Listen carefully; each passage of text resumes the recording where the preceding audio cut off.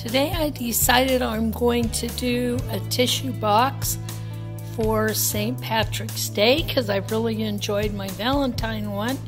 So I thought I'd get ready for St. Patrick's Day and I've got a variety of green papers. This is a particularly nice one that has a variety.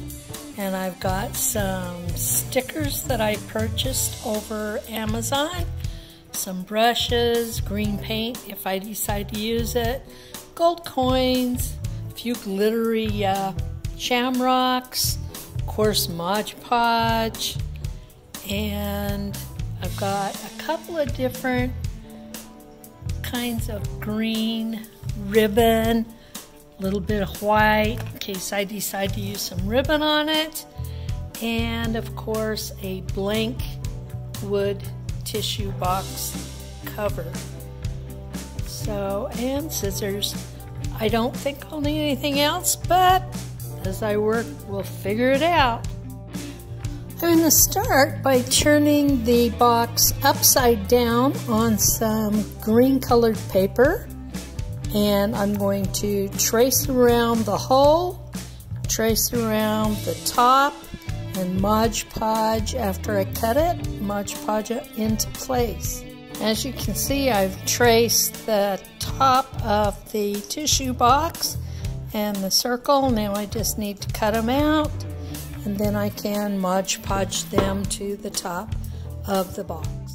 Before I Mod Podge this cut piece of paper on, I've decided to do a light, or well, a green wash over the entire box so that if some of it doesn't go perfectly, it'll still have some green in the background and won't be so noticeable.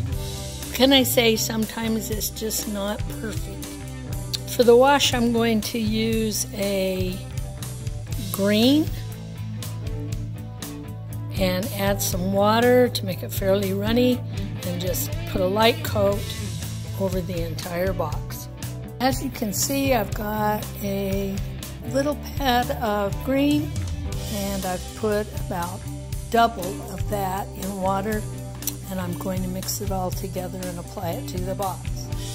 When applying a wash, it's also a good idea to remember to follow the grain of the wood because a wash allows the wood grain to show through, which adds some extra texture, which I really like. Once you've applied a coat to all of the edges and surfaces, you need to let it dry really well before you start to apply anything else because you did water down the paint and it has to dry.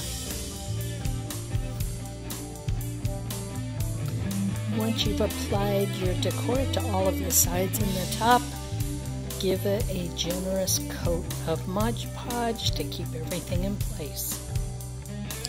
As you can see, it, the Mod Podge is all dry. Tissue box is in the container. Has four different sides from which you could choose to display it. I decided not to use any of the ribbon. I just used stickers and then used Mod Podge to seal everything in place. So fun, ready for St. Patrick's Day.